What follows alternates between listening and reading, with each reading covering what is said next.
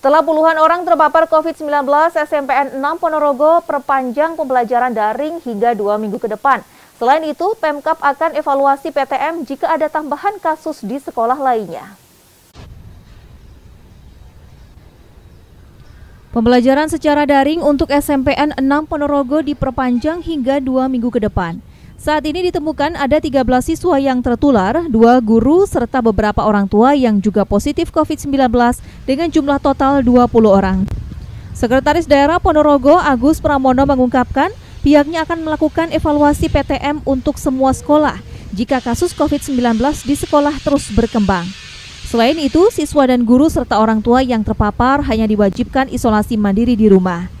Kondisi mereka hanya bergejala ringan, tidak dirawat di rumah sakit maupun isoter.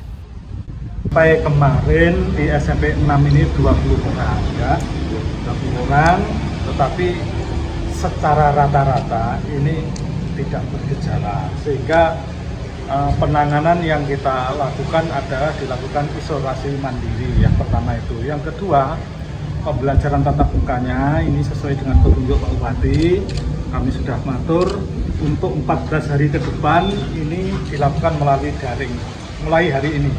Saya sudah merintahkan para dinas pendidikan untuk diberitahu kepala sekolah SMP 6 untuk uh, pembelajaran tatap mukanya ditunda sampai 14 hari. Ya kita lihat pasca 20 ini apakah ada perkembangan. Nanti kalau memang ada perkembangan tentu pembelajaran tatap mukanya akan kita evaluasi kembali tapi saat ini masih 100% Masih. Belum enggak enggak enggak. 50 enggak. ya. ya. Sebelumnya belasan siswa SMPN 6 Ponorogo terpapar COVID-19 setelah ada salah satu siswa yang positif COVID-19 yang diduga tertular dari orang tuanya. Ega Patria, CTV, Ponorogo.